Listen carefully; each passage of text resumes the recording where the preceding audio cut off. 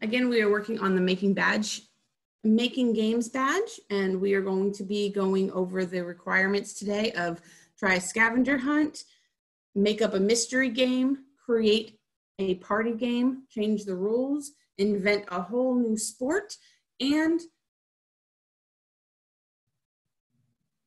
some requirements you, we will do today, and then the others we will you'll re be required to do at home. So again, you're going to need paper, pencil, chalk, and some index cards. Are we all ready to go? Give me a thumbs up.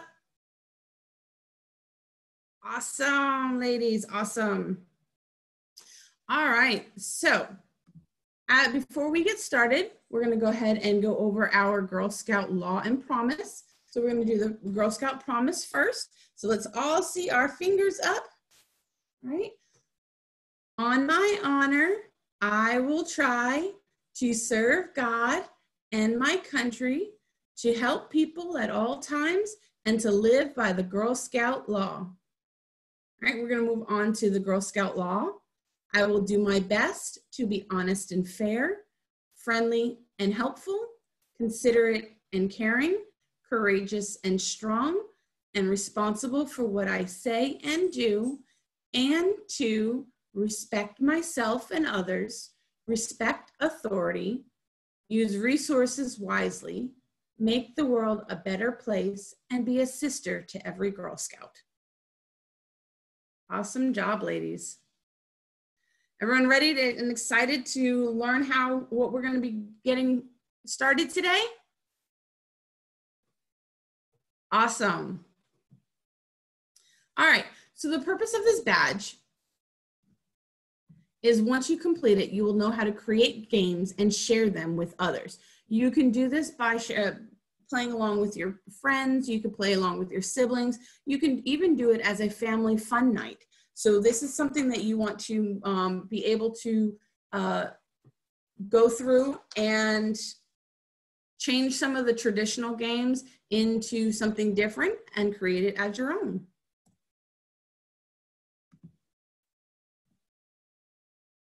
All right, so step one is try a scavenger hunt. How many of you have, how many of you, raise your hand, have played a scavenger hunt before? Awesome. So sometimes they could be fun. And so what you want to do is you want to make sure that when you're doing a scavenger hunt, sorry, my screen was a little messing up right there. So step one is you're going to make a scavenger hunt with it to find at least 10 items. It could be something in your neighborhood. It could be something at home or in the community. For example, if you in your hunt, if you decide to do um, yes, so everyone is muted.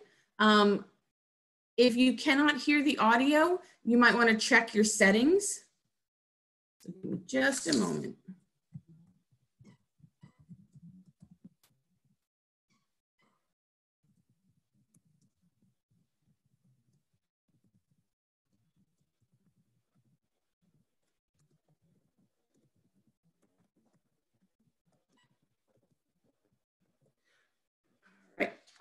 So if you went to a library, you can do many different things um, and create a scavenger hunt. One you can do if you want to find a um, certain author, you can look for the different books. Um, you can, or a magazine, or even look for the librarian's signature. So there's different ways that you can create a scavenger hunt. What you want to do is you're going to create your own scavenger hunt. You want to maybe have a variation of different ways to create a scavenger hunt with, you could have easy ones, because depending on the age levels that you're working with, you can have harder ones. You can do ones that, have that include different sizes, different colors. You also make the rules. So you can have them be um, in specific orders you can give them a time limit. You can also play in teams. All right, so you ready for your first challenge? Everyone ready for their first scavenger hunt? All right, so I'm gonna give you a couple of minutes And what you're going to do is you are going to look around your house, in your living room, dining room, wherever you're at, and I want you to go find 10 items that are green. Ready? Go. Go find them and bring them back. 10 items that are green.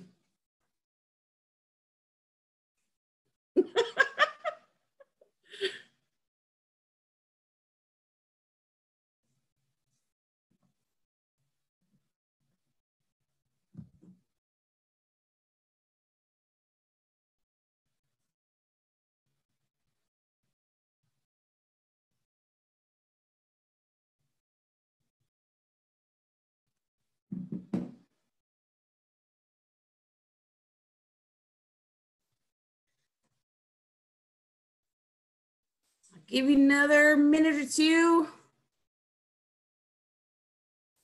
Let's find those green items. Oh, I'm seeing some really neat ideas, neat things being brought to the table. All right, one more minute, one more minute.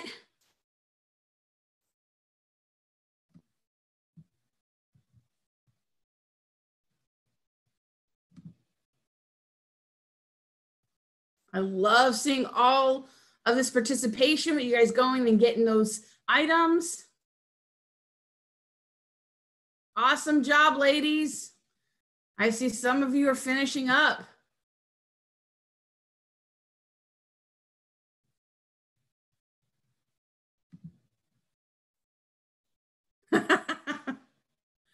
I see some creativity there and items that you are bringing to the table.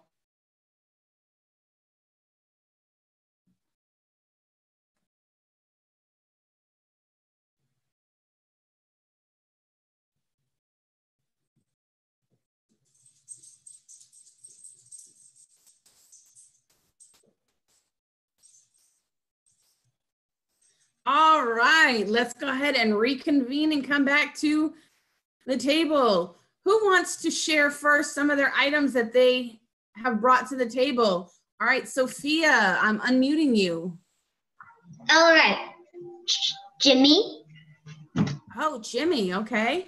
He, he likes that corner. He, he loves it. He, he'll never stop going there. And this weird Okay, what else did you bring? There's feathers, this weird pencil, another pencil, another pencil. Wait a second. This is my least favorite pencil. This, I don't like that either. And I was going to bring broccoli, but then I realized no, it's disgusting. This. wow, that he can fly. awesome. Well, thank you so much for sharing, Sophia. Weird thing and this thing I painted. Okay, now I gotta put all this this junk back. All right, thank you. All right, Haynes, let's go ahead and see what you shared share with us. I'm unmuted. You're unmuted, sweetheart. I have Dad. One second.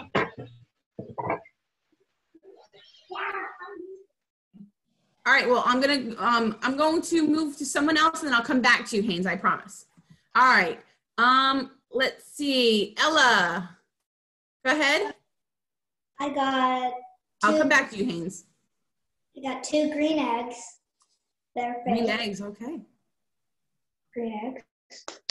I got an apple. Whatever this is. Something you use in I got my American Girl doll plant, my American Girl doll book, um, a pin, a pencil, um, a Lego tree, and a Lego bush. Awesome. Good job. Good hunt. All right, Haynes, I'm coming back to you. Um, I have like one of these squishy things that can stick to the wall. I have a piece to a marble set, a foam block, um, a puzzle piece, one of my bracelets, a Lego, a crayon, a toy tree, a little, I don't know what this is, and then the box that I put everything in. Awesome. Good job. All right. Zoe, go ahead. I've unmuted you. Go ahead and tell us what you have brought to the table. I have four green limes, a green jump rope, a old applesauce container, a remote to the lights in the kitchen, and a plant and a container. Awesome. All right. Good job. All right. And let me see. Addison. I got a green Easter egg. I got a building pole. I got this fraction magnet. I got dishwasher soap. got this container. I have a chalk marker, this Lego thing, another Lego bush, and chalk container, and then a fake flower. Awesome. Good job. All right. All right, Kylie. Kylie. Um, I got um this green nest, a green crayon, um, this book, um, and these two drawings. Okay.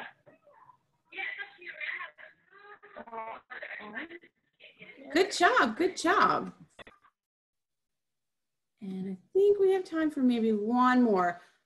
Lawanda. Finally. I have this, uh, I don't know what it's called, a pillow, and this, uh, found green paper, piece of paper, and then, uh, another pillow, and then a bow, and then my marker, and then this thing. and this thing, then a unicorn, and then a block, and then the basket, the green basket. I put everything in. Awesome. Great job, ladies. That was awesome that all of the um, scavenger hunting that you went and did, um, they are, um, they were awesome. I love seeing them. Um, we're going to go ahead and move on to our next step. Um, but before we do that, I'm going to introduce our guest speaker. Um, her name is Rachel Hodges, and she is our assistant camp director for Sandy Ridge. Um, I'm trying to unmute her. Um, welcome, Rachel. Can't hear you. You can't hear me? Now we can hear you. All right, so we are on, I'm going to turn this over now to Rachel so that she can go ahead and continue hearing um, or letting you guys go through the steps. Um, like I said, she was on a previous meeting, so she um, joined us a little bit late. Um, we are actually on step two, Rachel, so go ahead and take it away. Hey guys, uh, welcome for having me today. Sorry I'm a little late. But I'm going to jump on step two with you. So, step two of this brownie badge is to make up a mystery game. Who likes a good mystery game? Raise your hand. Some people said no, but this is a fun one. You guys get to create it on your own. So, we're going to um, we're going to start on one and then I'm going to have you finish. So, this step is all about turning a mystery into a fun adventure. Okay? So I want you to take out your detective skills. And what we're going to do is when you determine, there's a lot of people who love mystery games perfect. Um, what we're going to do is you're going to make up your own rules to this game. So, how are you going to start the game? How are you going to finish the game? Are there going to be certain questions that people have to answer? Are you going to give certain kind of clues? Are you going to have a prize at the end for the person who um, finishes the whole game? So these are all these are all things that you have to think about when you make your own game, or in this case, a mystery game. So we're going to play one together here. and then I'm gonna give you guys an opportunity to chime in with your ideas, okay? So if I were to send you a clue, can we read this? That says, where do you go that your car is parked? Where would you go? You can type it in the comment box here. I apologize. I don't know how to mute and unmute. So Danielle, if you're still there. But for now, um, if I showed you, go ahead and just comment in the comment box. If I showed you this clue that says, go to where your car is parked, where would you go? Your garage, your parking lot, your driveway, your front yard. Perfect. So let's go on an imaginary clue hunt. And if we're all going on this clue hunt together, and this is our first clue, we might go to our parking lot or our garage, right? And when we get there, we might find another clue that says, I'm tired, I'm going to bed. Where would we go then to find our next clue? If we've gone to the parking lot, we went to where our car was parked, we picked up another clue and it says, I'm tired, I'm going to bed. Where would we go? We would go to our bedroom, our bed. You someone has a bunny in their room. Wow. Awesome. Bedroom, you guys are smart.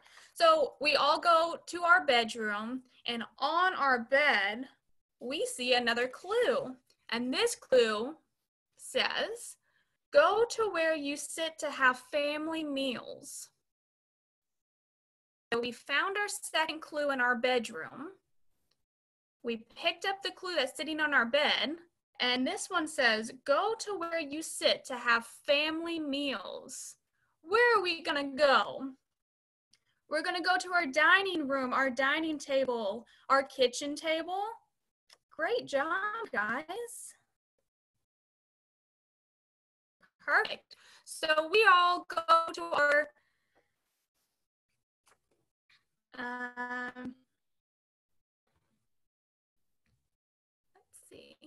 So we're all going to our dining room, and once we get to our dining room, we find another clue. And this clue says, this is where I enter my house. How do you get in your house? So we've all gotten to the dining table or the dining room. We find another clue, and this clue says, This is where I enter my house. How do you get in your house? By the door, the front door. Good job. Fantastic. So I have a couple more clues here. We get to the front door of our house. There's another clue at the front door. This one says, head to the place where you can make a big splash. Head to the place where you can make a big splash. Where in our house would you see us making a big splash, maybe a big mess? At the pool. We got a lot of people who have a pool. If you don't have a pool, where might you go? The bathtub. So I guess this clue could lead you to a couple different places.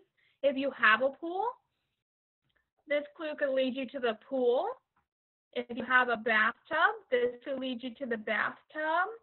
I guess you can make a big splash in the shower too. So let's all imagine that we live in this big mansion with a nice pool in the backyard. It's been chilly these past couple of days, but when the weather's nice, we all like a good dip in the pool, don't we? so we get to the pool. We find our last clue. This one says, Plug your nose. Your next clue is hiding in the place you store your dirty clothes. Where are we going to go to find our dirty clothes? so the last clue led us to this big imaginary pool that we have, and we found this last clue.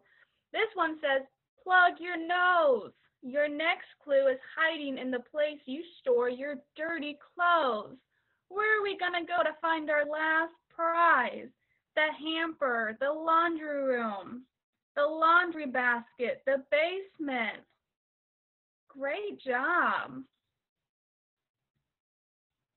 laundry room, laundry basket, your hamper. Fantastic. So that is what I imagine. Good job, guys. That's what I imagine when I, that's kind of a mystery game that I put together. So I invite you to, you can use some of these clues that we went over today, or you can make your own clues and bring your family on a mystery game hunt. Okay? So even if you you're not big on mysteries, these weren't too hard, were they? And these are fun, easy ones that you can do in your house, in your backyard. You can take it outside. You can say, um, well, the we had a clue for the pool. Where do you make a big splash? Uh, you can make a mystery game using trees and sticks and rocks and outdoor stuff.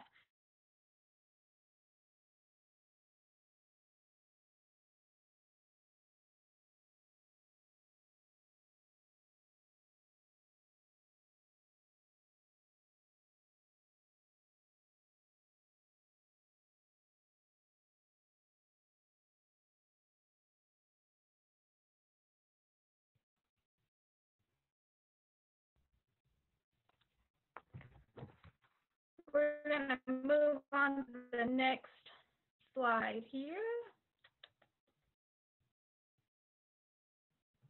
All right. Step four, change the rules. Can everyone hear me?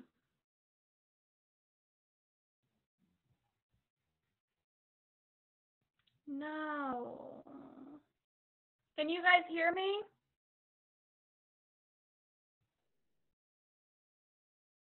If if you can't, um, I see some people say yes. If you can hear me, give me a big thumbs up right now. Or just type in the chat box. Good, we got a lot of thumbs up. Perfect. So if you cannot hear me, I'm trying to adjust either your volume or, ooh, like I said, I'm not very good at Zoom, so we will figure it, um, just comes at a delay. Okay. Well, I'm just going to keep going. Um, to my understanding, this badge and everything I am telling you is all recorded. So you should be able to go back and watch it later today so we can complete this badge. So the next step that we're going to be doing is called change the rules.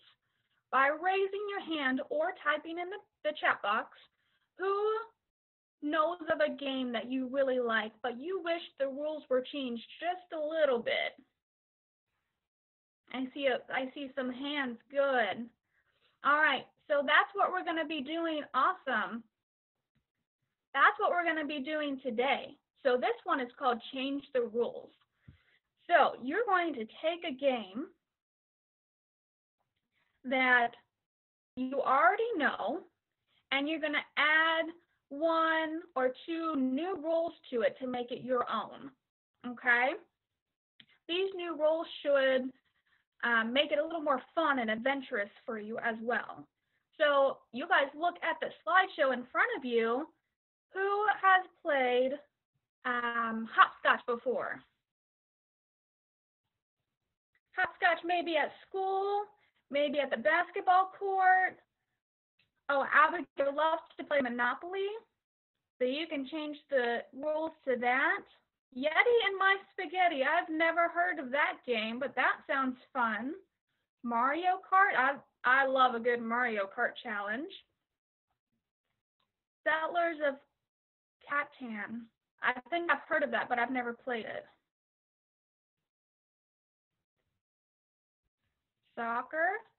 Wow, you guys play a lot of games. That's awesome. Clue, Mario Brothers. We got that here too. Fantastic Mario Kart. All right. So you guys have a lot of games that you like and you know the rules to. So think in your head how you would change that game and add one or two different rules to make it your own and maybe a little more adventurous. Okay. So I'm gonna take, I'm gonna give you guys a few minutes here to think of a game and think about how you would change one or two rules. And I'm gonna have you type it in the chat box.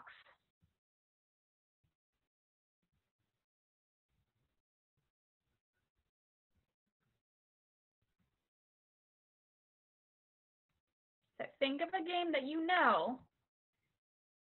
How would you change one or two rules and add it in the chat box?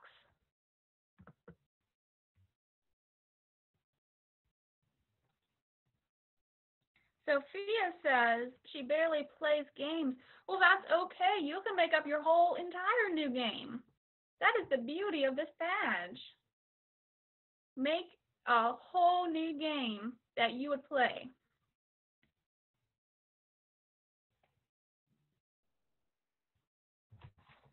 So while you guys are thinking of that, I am going to take you on a little adventure here. Um, you guys, we're going to go on a little field trip. So I did. I made my own hopscotch yesterday, and pardon the darkness. We're going to head downstairs.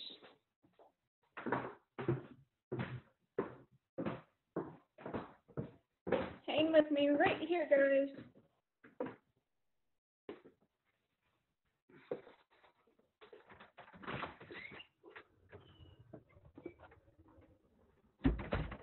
It is sunny today, so I'm going to do my best to show you all this hopscotch that I made yesterday.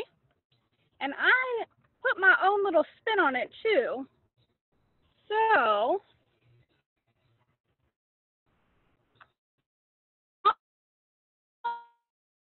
don't know if you guys will be able to see it because the sun is really, really, really, really bright. But type in the chat box if you are able to see.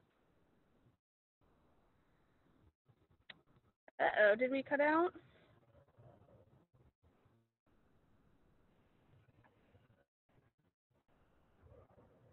I don't know if you guys are still with me.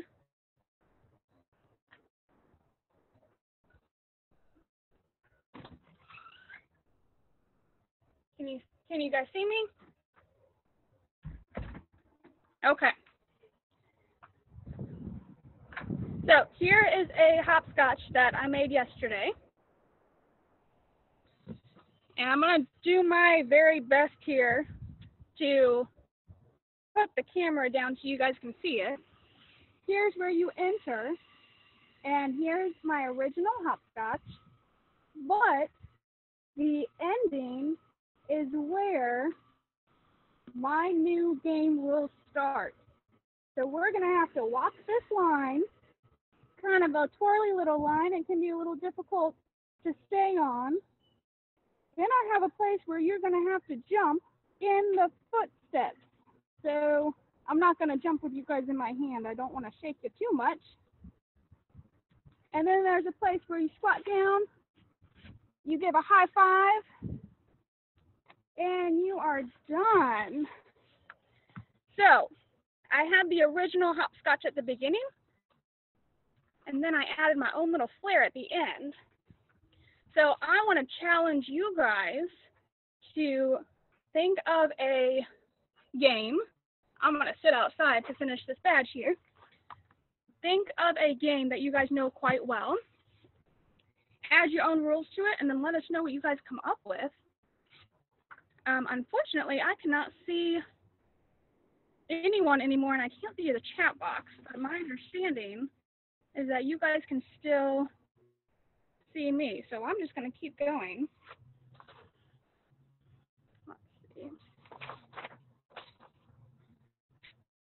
So today, oh, the last step that you guys will create at home is to create a party game. I'm sorry, there are a couple steps that you guys have to create at home to, in order to get the badge. So one of them is to create a party game. Um, you can do pin the tail on Hello Kitty. A lot of people like Hello Kitty. You can do a family, um, instead of doing musical chairs, you can do musical hula hoops. Just make it a little different. You can even build your own relay race for your family. Do like a little family Olympics with summer coming up. I know I want to spend as much time outside as I can. So that will be a great opportunity for you to spend some time outside with your family.